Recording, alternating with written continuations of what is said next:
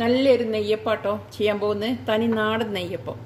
അപ്പോൾ ഒരു കപ്പ് അരി ഇരുന്നൂറ്റി അമ്പത് ഗ്രാം അരി എടുത്തിട്ടുണ്ട്. ഈ അരി നമുക്ക് ഒന്ന് വെള്ളത്തിൽ കുതിർത്താനായിട്ടിടാം ഒരു മൂന്ന് നാല് വട്ടം വാഷ് ചെയ്തിട്ട് നമുക്കൊന്ന് അരി കുതിർത്തിയെടുക്കാം.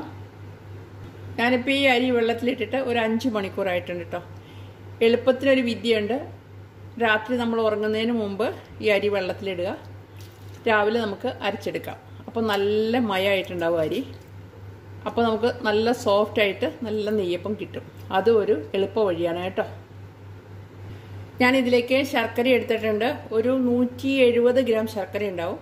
നല്ല ബ്ലാക്ക് കളർ ഉണ്ടെങ്കിൽ ഏറ്റവും നല്ലതാണ് കേട്ടോ. നല്ല കളർ കിട്ടും നമ്മുടെ നെയ്യപ്പത്തിന്. ഇപ്പം അച്ചിന്റെ കണക്ക് പറയുകയാണെങ്കിൽ ഒരു മൂന്നച്ച് മൂന്നേകാൽ അച്ച് അത്രയും വേണ്ടി വരും. ഇപ്പം ഞാൻ ഈ ശർക്കര ഒരു അര ഗ്ലാസ് വെള്ളത്തിലൊന്ന് കഷ്ടി അര ഗ്ലാസ് വെള്ളം മതി കേട്ടോ. ഒന്ന് തിളപ്പിച്ചെടുക്കട്ടെ തിളപ്പിച്ച് ഊറ്റിയെടുക്കട്ടെ ഞാൻ ശർക്കര ഉരുക്കാനായിട്ട് ഒരു പാൻ എടുത്തു. ഇത് ഈ ശർക്കര ഒന്ന് പൊട്ടിച്ചു കൊടുക്കട്ടെ കേട്ടോ. ഞാനിപ്പോൾ ഒരു സാധാ ചായ ഗ്ലാസ്സിനാട്ടോ അര ഗ്ലാസ് വെള്ളം ഒഴിക്കണേ. അതിനുശേഷം ഒന്ന് ഉരുക്കട്ടെ. നമ്മുടെ ശർക്കര ശരിക്കും ഉരുകിയിട്ടുണ്ട്. ഒരു മിനിറ്റ് കഴിഞ്ഞോട്ടെ കേട്ടോ. നമുക്ക് ഓഫ് ചെയ്യാം. ഇതാ ഒരു നൂൽപ്പരും ഒന്നും ആകണ്ട കേട്ടോ നമുക്കിത് കൂട്ടി അരച്ചെടുക്കാണ്ടാണ്. അരി അരയ്ക്കാനുള്ളതാണ്. നമ്മുടെ ശർക്കര ഇതിനകത്ത് അഴുക്കൊക്കെ ഉണ്ടാവും. നമ്മൾ വല്ലതും എന്താ പറയുക വല്ല കല്ലിന്റെ അംശം അങ്ങനത്തെ ഒക്കെ ഉണ്ടാവാൻ ചാൻസ് ഉണ്ട് ശർക്കര വാങ്ങുമ്പോൾ അപ്പോൾ ഇതൊന്ന് അരിപ്പേ കൂടി നമ്മൾ ചൂടാതിന് ശേഷം ഒന്ന് അരിച്ചെടുക്കും. നമ്മുടെ അരിയുടെ വെള്ളം മുഴുവൻ ഞാൻ അരി ഒരു തുളയേണ്ട പാത്രത്തിൽ അരി വെച്ചേക്കാണ്. ആ അരിയുടെ വെള്ളം മുഴുവൻ പോകണം അതിനുശേഷം ഈ ശർക്കര പാവിലാട്ടോ നമ്മൾ അരച്ചെടുക്കണം അരി അരയ്ക്കുന്നത് ഈ ശർക്കരയിലാണ്. തണുക്കാനായിട്ട് മാറ്റി വെച്ചു. ഇനി ഇതിലേക്ക് നല്ല ജീരകം ഒരു മുക്കാൽ ടീസ്പൂൺ എടുത്തിട്ടുണ്ട് കേട്ടോ അതുപോലെ തന്നെ ഒരു ടീസ്പൂൺ കറുത്ത എള്ള് ഒന്ന് ഒന്നര വരെ ചേർക്കാം കേട്ടോ. ഒരു നാലഞ്ച് ഏലക്ക പൊടിച്ച് ചേർക്കാം. ഒരു നാല് ടേബിൾ സ്പൂൺ മൈദ എടുത്തിട്ടുണ്ട് കേട്ടോ ഒരു ഒന്നര ടേബിൾ സ്പൂൺ നെയ്യ് വേണം. ശരിക്കും ഇത് പണ്ടൊക്കെ ചെയ്തുകൊണ്ടിരിക്കുന്നവർ ഇത് നെയ്യ് തന്നെയാണ് ചെയ്തുകൊണ്ടിരുന്നത് പക്ഷേ ഇപ്പം നമ്മൾ എണ്ണയിലാണ് ചെയ്യുന്നത് ഞാനിപ്പോൾ കോക്കനട്ട് ഓയിലിലാണ് ചെയ്യാൻ പോകുന്നത് അപ്പോൾ നെയ്യുടെ ടേസ്റ്റ് കയറി വരാനായിട്ട് നമ്മളൊരു ഒന്നര ടേബിൾ സ്പൂൺ നെയ്യ് ആഡ് ചെയ്യുന്നുണ്ട്. നമുക്ക് ഈ ശർക്കര ഒന്ന് അരിച്ചെടുക്കാം കേട്ടോ.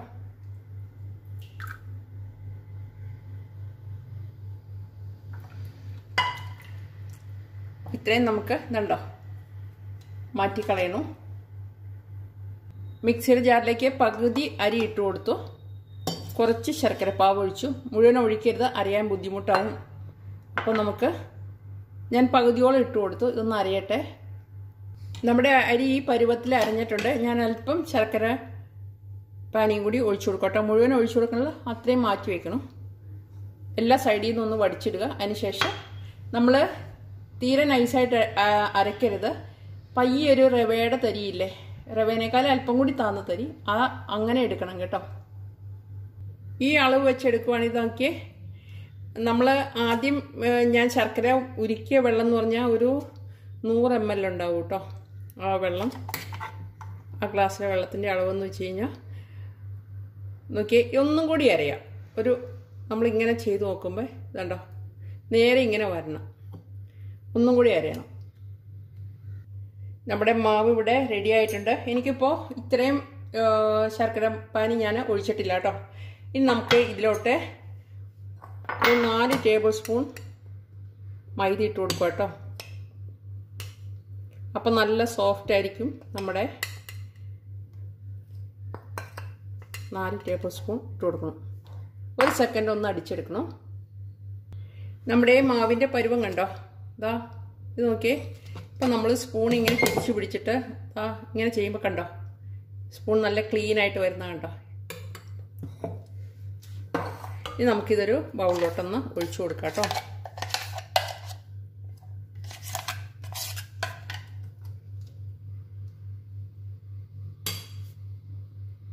കൂട്ടിലേക്ക് ഒരു ഒന്നര ടേബിൾ സ്പൂൺ നെയ്യ് ഒഴിച്ചു കേട്ടോ.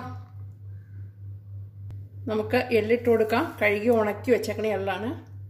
നമ്മളിപ്പോൾ എള്ളിട്ട് കൊടുത്തു. എള്ളൊന്ന് കൂട്ടി യോജിപ്പിക്കുക. ഏലക്കായുടെ അകത്തെ കുരു മാത്രം പൊടിച്ചെടുത്തു കേട്ടോ അതൊന്ന് കൂട്ടി യോജിപ്പിക്കുക. ഇനി നമ്മുടെ ജീരകമുണ്ട് ജീരകം ഞാൻ പതുക്കി ഒന്ന് ചതച്ചിട്ട് ഇടുക. ചതയ്ക്കണം നിർബന്ധമൊന്നുമില്ല കേട്ടോ ഇങ്ങനെ കൈകൊണ്ട് ഇങ്ങനെ പിടിച്ചിട്ട് ഇങ്ങനെ ഒന്ന് തിരുകിയിട്ട് അങ്ങിട്ടാലും നമ്മൾ മുഴുവനെ ഇടുന്നതിനേക്കാളും ഇനി നമുക്ക് ഒരു പിഞ്ച് ഉപ്പിട്ട് കൊടുക്കാം. ഒരു നുള്ളുപ്പ് ഇട്ട് കൊടുത്തു.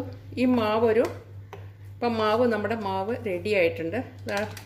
ഇതാണ് പരുവം. നമ്മൾ ദോശമാവിന് ഇഡ്ഡലി മാവിന്റെയൊക്കെ ഇടയ്ക്കേണ്ട ഒരു പരുവല്ലേ അതാണ് പരുവം. ഇനി നമുക്ക് നമ്മുടെ ശർക്കരപ്പാനി ഇരിപ്പുണ്ട്. ഇതൊന്നും കൂടി ടൈറ്റ് ആവുകയാണെങ്കിൽ നമുക്ക് ആ സമയത്ത് ലൂസാക്കാം ഇതിനകത്ത് നമ്മൾ സോഡാപ്പൊടിയോ ഒന്നും ചേർക്കുന്നില്ല കേട്ടോ.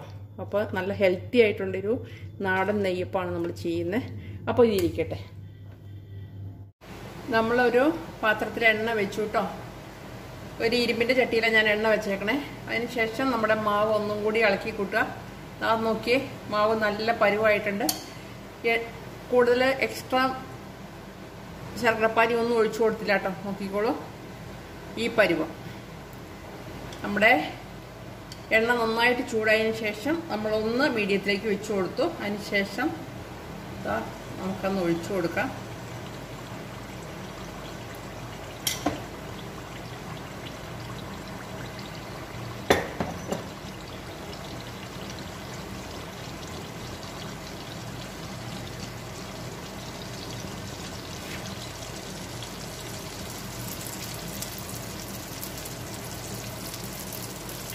ഉണ്ടോ? തന്നെ പൊന്തി വന്നു.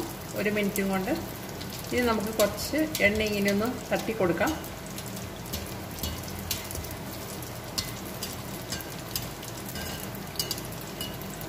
അപ്പം തന്നെ മറിച്ചിടണ്ട കേട്ടോ.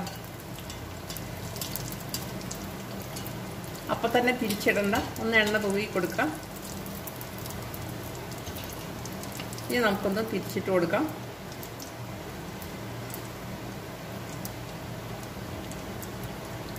നമ്മൾ തിരിച്ച് ഇതുപോലെ ഇട്ടു. ഇപ്പം സമയം എടുക്കും കേട്ടോ ഒന്നായിട്ട് വരാനായിട്ട്.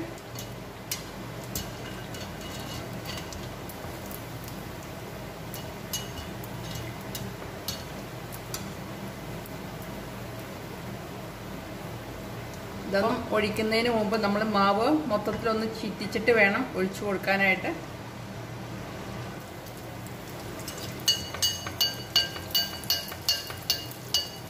എനിക്ക് ചൂടും കൊണ്ട് കൈക്ക് തൊടാൻ പാടില്ല കേട്ടോ. അതുകൊണ്ടിട്ട് മുറിച്ച് കാണിക്കാത്ത. അകം നല്ല സോഫ്റ്റാണ് തണുത്തതുണ്ടോ എന്ന് നോക്കട്ടെ. നമ്മുടെ നെയ്യപ്പം കണ്ടോ? സൈഡൊക്കെ റേന്ത പോലെ. മോൾ പൊന്തി. ഇത് കണ്ടോ? ഇതുപോലെ എനിക്ക് കിട്ടിയിട്ടുണ്ട്. അപ്പോൾ എല്ലാവരും ഒന്ന് ചെയ്ത് നോക്കട്ടെ. എല്ലാവർക്കും കിട്ടും ഇതുപോലെ. നല്ല ഷേപ്പ് കിട്ടും.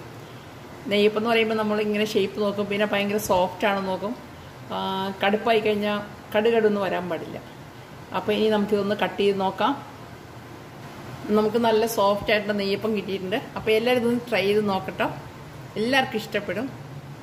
അപ്പോൾ കൂട്ടുകാർക്കൊക്കെ ഒന്ന് ഷെയർ ചെയ്യണം കേട്ടോ അടുത്തൊരു നല്ല വീഡിയോ ആയിട്ട് ഞാൻ വരാതെ വരയ്ക്ക് ബൈ